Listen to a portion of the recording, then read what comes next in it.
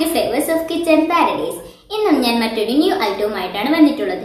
എപ്പോഴും നമ്മൾ ഒരേ ടേസ്റ്റിലുള്ള ബിരിയാണിയിൽ ഉണ്ടാക്കാറുള്ളത്? ഇടക്കൊക്കെ ഒരു ചേഞ്ച് വേണ്ടേ? വേണല്ലോ? ഫൈവ് സ്റ്റാർ ഹോട്ടലുകളിലൊക്കെ പോയാൽ ലഭിക്കുന്ന കണ്ടാൽ കണ്ണ് തള്ളിപ്പോകുന്ന ഒരു കിടക്കാച്ച ബിരിയാണി ഉണ്ട് വർദ്ധ ബിരിയാണി. എന്നാൽ പിന്നെ അതായാലും ഇന്നത്തെ റെസിപ്പി കം വിത്ത് മീ ഇത് കേക്കൊന്നുമല്ലട്ടോ ഇതാണ് നമ്മുടെ ബിരിയാണി. ഈ ഐറ്റം നമ്മുടെ പാകിസ്ഥാനിൽ നിന്ന് നുഴഞ്ഞു കയറി വന്നതാണെന്നാണ് പറയുന്നത്. പക്ഷേ രുചിയുടെ ഒരു മായാലോകത്ത് തന്നെയാണ് നമ്മൾ എത്തിച്ചേരുന്നത്. ഫസ്റ്റ് ഇതിനുള്ള പർദ്ദ റെഡിയാക്കാം. പർദ്ദക്കായി രണ്ട് കപ്പ് മൈദ ഒരു ടേബിൾ സ്പൂൺ ഈസ്റ്റ് തരിതരിയായി കിട്ടുന്ന ഇൻസ്റ്റന്റ് ഈസ്റ്റാണ് നല്ലത്. രണ്ട് ടേബിൾ സ്പൂൺ ഷുഗർ അതാവുമ്പോൾ എളുപ്പത്തിൽ മാവ് പൊങ്ങി വരും.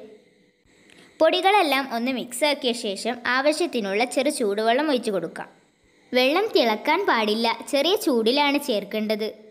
നല്ലവണ്ണം മിക്സാക്കിയ ശേഷം ചപ്പാത്തിയേക്കാൾ ലൂസിൽ അഞ്ച് മിനിറ്റ് കുഴച്ചെടുക്കാം. അഥവാ കുറച്ച് വെള്ളം കൂടിപ്പോയാൽ കുറച്ച് മൈദ ചേർത്ത് കൊടുത്താൽ മതി. ഇനി രണ്ട് ടേബിൾ സ്പൂൺ ഓയിൽ ഒഴിച്ച് ഡോ ഒന്ന് സോഫ്റ്റ് ആക്കിയെടുക്കാം ഇതുപോലെയാണ് കുഴച്ചെടുക്കേണ്ടത്. ഇനി ഒരു ബൗൾ കുറച്ച് ഓയിൽ ബ്രഷ് ചെയ്ത് കൊടുക്കാം. ശേഷം ഡോ അതിലേക്കിട്ട് മീതെ കുറച്ച് ഓയിൽ തടവി കവർ ചെയ്ത് രണ്ട് മണിക്കൂർ റെസ്റ്റ് ചെയ്യാൻ വെക്കാം. ഈ സമയം കൊണ്ട് നമുക്ക് ബിരിയാണി റെഡിയാക്കാം. ഇനി ഒരു കിലോ ചിക്കൻ എടുത്ത് ഒരു table spoon Kashmiri red chilli powder ചേർക്കാം. നെക്സ്റ്റ് ഒരു ടീസ്പൂൺ മഞ്ഞൾപ്പൊടി ഒരു ടീസ്പൂൺ ഗരം മസാല പൗഡർ അര ടീസ്പൂൺ ബിരിയാണി മസാലയും ഒരു ടീസ്പൂൺ കുരുമുളക് പൊടിയും രണ്ട് ടേബിൾ സ്പൂൺ തൈരും ചേർക്കാം. ഇതിലേക്ക് കുറച്ച് വെജിറ്റബിൾസും കൂടി ആവശ്യമുണ്ട്.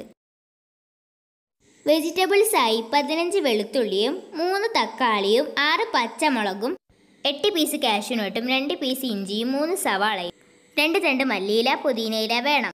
ഇവയെല്ലാം കൂടി ഒരു മിക്സിയുടെ ജാറിലേക്കിട്ട് നല്ല പേസ്റ്റ് രൂപത്തിൽ അരച്ചെടുക്കാം. എളുപ്പത്തിൽ ഒരു ബിരിയാണി ഉണ്ടാക്കാനാണ് ഇങ്ങനെ ചെയ്യുന്നത്. നിങ്ങൾക്ക് വേണമെങ്കിൽ ഓയിൽ ഒഴിച്ച് ഇൻഗ്രീഡിയൻസ് എല്ലാം വയറ്റിയും ഉണ്ടാക്കാട്ടോ. ഇങ്ങനെ ആവുമ്പോൾ റിസ്ക് ഇല്ലാതെ ബിരിയാണി ഉണ്ടാക്കാൻ സാധിക്കും. എങ്ങനെ ഉണ്ടാക്കിയാലും ടേസ്റ്റ് ഉണ്ടായാൽ മതിയല്ലോ. കാഷ്യൂനട്ട് ചേർത്താൽ കുറച്ച് ടേസ്റ്റ് കൂടുട്ടോ. ഇതിപ്പോൾ അരമണിക്കൂർ കൊണ്ട് തന്നെ ബിരിയാണി ആയി കിട്ടും. നമ്മുടെ അരപ്പ് റെഡി ആയിട്ടുണ്ട്. ഇനി ഇത് ചിക്കനിലേക്ക് ചേർത്ത് കൊടുക്കാം. ആവശ്യത്തിന് ഉപ്പും കൂടി ചേർത്ത് നല്ല പോലെ കൈകൊണ്ട് മിക്സ് ആക്കി എടുക്കാം. നല്ലോണം ഒന്ന് റെസ്റ്റ് എടുത്ത് വന്നോട്ടെ. എന്നിട്ടാവാം ബാക്കി. ഇനി ഒരു പാൻ ചൂടാക്കി ഫ്രൈ ചെയ്യാനുള്ള ഓയിൽ ഒഴിക്കണം. കോൺഡ്രോപ്പ് റിഫൈൻഡ് കോൺ ഓയിലാണ് പർദ്ദ ബിരിയാണിക്കും ഉപയോഗിക്കുന്നത്. കൊളസ്ട്രോൾ ഫ്രീയും വിറ്റാമിൻസുകളായ ഇ എ ആൻഡ് ഡിയും ഇതിൽ അടങ്ങിയിട്ടുണ്ട്. ഇതാകുമ്പോൾ സാദാ ഓയിലിനേക്കാൾ കുറഞ്ഞ അളവിൽ ചേർത്താലും മതി. കുറച്ച് ക്യാരറ്റ് നീളത്തിൽ സ്ലൈസ് ആക്കിയത് ഫ്രൈ ചെയ്തെടുക്കാം. ക്യാരറ്റിന്റെ കളർ നഷ്ടപ്പെടുന്നതിന് മുന്നേ തന്നെ കോരി മാറ്റണം കേട്ടോ അതായത് കരിഞ്ഞു പോകരുത് എന്ന അർത്ഥം ഈ ഓയിലിൽ തന്നെ കുറച്ച് അണ്ടിയും മുന്തിരിയും ഫ്രൈ ചെയ്യാം. അണ്ടിയും മുന്തിരിയും ചേർക്കുന്നത് ഓരോരുത്തരുടെ ഇഷ്ടമാണ്. കയ്യിലുണ്ടെങ്കിൽ ചേർത്താൽ മതി. ബിരിയാണിയല്ലേ? എന്തായാലും കുറച്ച് കിടക്കട്ടെ.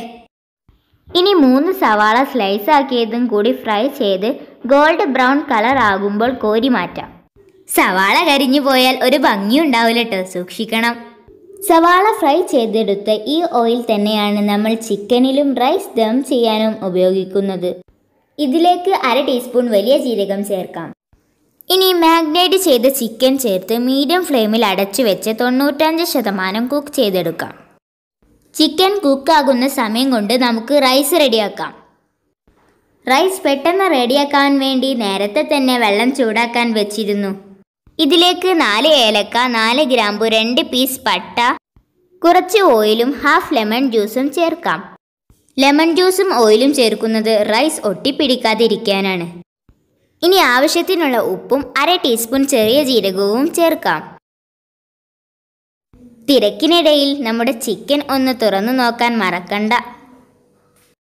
ചിക്കൻ പകുതി കുക്കായിട്ടുണ്ട്. ഇതിലേക്കൊരു വലിയ പൊട്ടാറ്റോ പീസാക്കിയത് ചേർത്ത് അടച്ചു വെക്കാം.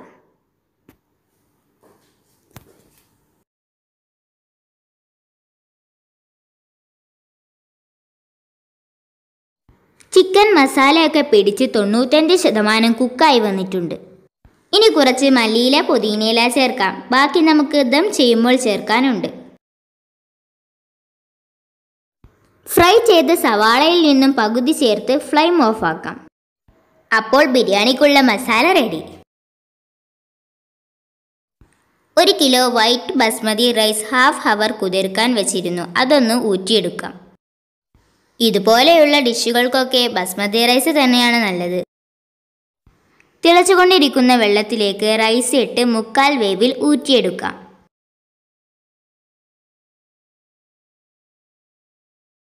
കണ്ടില്ലേ റൈസ് ഒട്ടും തന്നെ കുഴഞ്ഞു പോയിട്ടില്ല.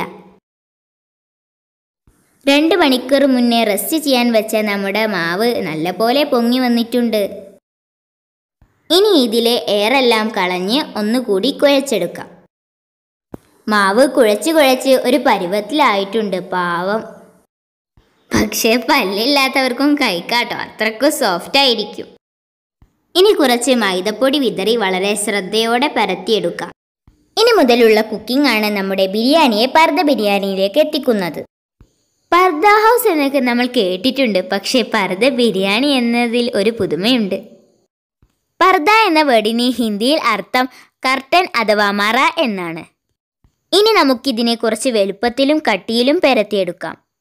ബിരിയാണി ദം ചെയ്യുന്ന ബൗളിന്റെ വലുപ്പത്തിലാണ് ഇത് പെരത്തിയെടുക്കേണ്ടത്. ഇനി ഇതിനെ കൗണ്ടർ ടോപ്പിലേക്ക് മാറ്റി ഒന്നുകൂടി വലുതാക്കി പരത്താം. കണ്ടില്ലേ? ഇതുപോലെ വേണം പരത്താൻ. ഇനി ദം ചെയ്യാനുള്ള ബൗളിലേക്ക് കുറച്ച് ഓയിൽ ഗ്രീസ് ചെയ്ത് കൊടുക്കാം. നിങ്ങൾക്ക് വേണമെങ്കിൽ അലൂമിനിയത്തിന്റെയോ സ്റ്റീലിന്റെയോ പാത്രമൊക്കെ എടുക്കാട്ടോ. ഭംഗിക്ക് വേണ്ടി കുറച്ച് എള്ളോ കരിഞ്ചീരകോ വിതറി നമ്മൾ പരത്തി വെച്ചതിനെ ശ്രദ്ധയോടെ ബൗളിലേക്ക് ഇറക്കി വെക്കാം. ഇത് നല്ല സോഫ്റ്റ് ആയതുകൊണ്ട് പൊട്ടിപ്പോകാതെ സൂക്ഷിക്കണേ. പൊട്ടിയാൽ പരത ബിരിയാണി ആകെ കുളമാകും. ഒന്ന് ലെവൽ ചെയ്ത ശേഷം ഇൻഗ്രീഡിയൻസ് ഓരോന്നായിട്ട് പർദ്ദക്കുള്ളിലേക്ക് നിരത്തി കൊടുക്കാം. ഫസ്റ്റ് ഫ്രൈ ചെയ്ത ക്യാരറ്റും അണ്ടിയും മുതിരിയും ചേർക്കാം. നെക്സ്റ്റ് വാർത്തെടുത്ത കുറച്ച് റൈസ് ഇട്ട് അമർത്തി കൊടുക്കാം. എഴുപത്തഞ്ച് ശതമാനം കുക്കായി വന്ന റൈസാണിത്. ബാക്കി ദമ്മിൽ നിന്ന് വെന്തി കിട്ടും. ഇനി നമുക്ക് ചിക്കനെ ഒന്ന് ഇറക്കി കളിക്കാം. ഇൻഗ്രീഡിയൻസ് എല്ലാം കുറച്ച് ചൂടാറിയതിന് ശേഷമാണ് കേട്ടോ ചേർക്കേണ്ടത്. അല്ലെങ്കിൽ നമ്മുടെ പർദ്ദ പൊട്ടിപ്പോകും. വീണ്ടും റൈസ് ഇട്ട് ഒന്ന് പ്രസ് ചെയ്ത് കൊടുത്ത് നേരത്തെ ചെയ്ത പോലെ വീണ്ടും ആവർത്തിക്കാം. നമ്മൾ ഒരു കിലോ അളവിലാണ് ബിരിയാണി ഉണ്ടാക്കിയത്. പക്ഷേ അതിന്റെ പകുതി മാത്രമാണ് ഇവിടെ ദം ചെയ്യുന്നത്. വീണ്ടും റൈസ് ഇട്ട് ലെവൽ ചെയ്ത് കൊടുക്കണം. ഇതൊക്കെ നമ്മുടെ സാധാ ബിരിയാണികളിൽ ചെയ്യുന്നത് പോലെ തന്നെയാണ്. പക്ഷേ ടേസ്റ്റിൽ നല്ല വ്യത്യാസമുണ്ട് കേട്ടോ. ഇനി ബിരിയാണികളിലെ സ്ഥിരം പുള്ളികളായ മല്ലി ഇല ശകലം ഗരം മസാലയും കളറിനായിട്ട് അല്പം മഞ്ഞൾപ്പൊടിയും ഫ്രൈഡ് ഒണിയൻ കാഷ്യൂസ് റൈസിൻസ് ക്യാരറ്റും ചേർക്കാം. ഈ ബിരിയാണിയിലേക്ക് ഒട്ടും തന്നെ നമ്മൾ നെയ്യോ ആർ കെ ജിയോ ഉപയോഗിച്ചിട്ടില്ല. ഓണിയൻ ഫ്രൈ ചെയ്യാനെടുത്ത കുറച്ച് കോൺഡ്രോപ്പ് ഓയിൽ ബാലൻസ് ഉണ്ടായിരുന്നു. അതാണ് ഇവിടെ ചേർത്തത്. ഈ ഓയിൽ ഉപയോഗിച്ച ബിരിയാണി കഴിക്കുമ്പോൾ മടുപ്പൊന്നും വരുന്നില്ല കേട്ടോ ഇനി ഒരു മൂന്ന് ടൊമാറ്റോ സ്ലൈസ് വെച്ച് കൊടുക്കാം. മാവ് കുഴച്ചപ്പോൾ ഒരു പീസ് മാറ്റി വെച്ചിരുന്നു. അത് പരത്തിയെടുത്ത് മൊത്തം കവർ ചെയ്യുന്ന വിധം സീൽ ചെയ്തെടുക്കാം. ഇനി ഓയിലൊന്ന് ബ്രഷ് ചെയ്ത് ഇതുപോലെ ഒന്ന് ഒട്ടിച്ചെടുക്കാം. ഇതൊന്നും വലിയ റിസ്ക് ഉള്ള ജോലിയല്ല കേട്ടോ പെട്ടെന്ന് ചെയ്തെടുക്കാൻ പറ്റും. മാവ് കുഴച്ചെടുക്കുന്നത് മാത്രം ഒന്ന് ശ്രദ്ധിച്ചാൽ മതി. എക്സ്ട്രാ വരുന്നത് ഇതുപോലെ ഒന്ന് മടക്കി അമർത്തി കൊടുത്താൽ മതി. വീണ്ടും ഓയിൽ തടവിക്കൊടുക്കാം പൊട്ടിപ്പോകാതിരിക്കാൻ വേണ്ടി മുട്ടയുടെ മഞ്ഞക്കരു കൊണ്ട് ബ്രഷ് ചെയ്ത് കൊടുക്കാം. ഇതിനെ ഇനി ബേക്ക് ചെയ്തെടുക്കണം. ഇവിടെ ബേക്ക് ചെയ്യുന്നത് കുക്കറിലാണ് കേട്ടോ കുക്കറിൽ കുറച്ച് മണൽത്തരി ചേർത്ത് അതിന് മുകളിൽ ഒരു സ്റ്റാൻഡോ മറ്റോ വെച്ച് കൊടുത്ത് അഞ്ച് മിനിറ്റ് കുക്കർ അടിച്ച് ഒന്ന് പ്രീഹീറ്റ് ചെയ്തെടുക്കണം. നമ്മുടെ പർദ്ദ ബിരിയാണി ഒന്ന് ബേക്ക് ചെയ്തെടുക്കാം. ഓവനില്ലാത്തവർക്കും ബിരിയാണി കഴിക്കണമല്ലോ ഇനി കുക്കറില്ലെങ്കിലും മറ്റു പാത്രങ്ങളിലും ഇതുപോലെ ചെയ്യാട്ടോ മുപ്പത് മിനിറ്റാണ് ഇതിനെ ബേക്ക് ചെയ്യാൻ സമയമെടുത്തത്. ഹൗ ആ കുക്കറൊന്ന് തുറന്നപ്പോഴുള്ള സ്മെല്ലേ. അതൊരു തവണയെങ്കിലും ഇത് ഉണ്ടാക്കിയവർക്കേ പറയാൻ പറ്റൂ. ഒന്ന് ചൂടാറിയ ശേഷം ഇതിന്റെ സൈഡെല്ലാം ശ്രദ്ധയോടെ ഇളക്കി കൊടുക്കാം. ചൂടോടെ ചെയ്താൽ ഇത് ബൗളിൽ നിന്നും വിട്ടുവരില്ല ഇനി വളരെ കെയർഫുള്ളായിട്ട് ബൗൾ ഒന്ന് കമഴ്ത്തി കൊടുക്കാം. ബൗളിന്റെ അടിയിൽ നല്ലപോലെ ഓയിൽ തടവിയാലേ ഇതുപോലെ വിട്ടുവരുള്ളൂ ഫൈവ് സ്റ്റാർ ഹോട്ടലുകളിലും ഫോട്ടോസിലൊക്കെ കാണുന്ന പർദ്ദ ബിരിയാണി എത്ര സിമ്പിളായിട്ടാണ് നമ്മളും ഉണ്ടാക്കിയതെന്ന് കണ്ടില്ലേ? പർദ്ദക്കുള്ളിലെ സുന്ദരി ബിരിയാണി ഒന്ന് കണ്ടു നോക്കിയാലോ? വളരെ കെയർഫുൾ ആയി വേണം കട്ട് ചെയ്യാൻ. കാരണം ഇതിന്റെ പുറംഭാഗം നല്ല സോഫ്റ്റും ക്രഞ്ചിയുമാണ്. ഇതൊക്കെ കഴിക്കാൻ ഒരു ഭാഗ്യം തന്നെ വേണം. കൊച്ചു കള്ളി ആർക്കോ വേണ്ടിയുള്ള കാത്തിരിപ്പിലാണ്. ഇനി നിങ്ങളെ ഏറ്റവും കൂടുതൽ സ്നേഹിക്കുന്ന ഗസ്റ്റുകൾക്ക് ഒരു സർപ്രൈസ് കൊടുക്കാൻ ഈ ഡിഷ് മതി. ഇങ്ങനെ ചെയ്താൽ ബിരിയാണി പഴയ ബിരിയാണിയല്ല ദുജാജ് പഴയ ദുജാജുമല്ല. കണ്ടാൽ കണ്ണ് തള്ളിപ്പോകുമെന്ന് പറയുന്നത് ഇതാണ്. ഇതൊക്കെ ഹോട്ടലുകളിൽ നിന്നും വാങ്ങിക്കഴിച്ചാൽ കീശ കാലിയാകും. നമ്മളിപ്പോൾ വീട്ടിൽ വെച്ച് തന്നെ ഉണ്ടാക്കാൻ പഠിച്ചല്ലോ. ഇതിന്റെ മുകളിലുള്ള പർദ്ദ കോട്ടിങ്ങിന് കൊടുക്കണം ഹൺഡ്രഡ് മാർക്ക് അത്രക്കും ടേസ്റ്റാ മാഷ അല്ല പ്ലേറ്റിംഗ് കാണാൻ എന്തു ഭംഗിയാലേ. മയോനിസിന്റെയോ റൈത്തയുടെയോ ടൊമാറ്റോ സൽസയുടെയോ മറ്റു എല്ലാത്തിന്റെയും കൂടെ കട്ട കോമ്പിനേഷനാണ് കേട്ടോ ഫ്ലേവേഴ്സ് ഓഫ് കിച്ചൺ പാരഡൈസ് എന്ന ഈ ചാനൽ സബ്സ്ക്രൈബ് ചെയ്യാൻ നിങ്ങൾ മറക്കില്ല എന്നറിയാം. പക്ഷേ ഇത്രക്കു രുചിയുള്ള ഭക്ഷണം തന്ന നാഥനെ സ്തുതിക്കാൻ നിങ്ങൾ മറക്കരുതേ. അൽഹംദുലില്ല. എന്നാൽ ഈ വീഡിയോക്ക് താഴെയുള്ള ചുവപ്പ് കളറിലുള്ള സബ്സ്ക്രൈബ് ബട്ടനും കൂടെ ബെൽ ബട്ടണിലുള്ള ഓൾ എന്ന ഓപ്ഷൻ ക്ലിക്ക് ചെയ്യാൻ മറക്കണ്ട. ബായ്.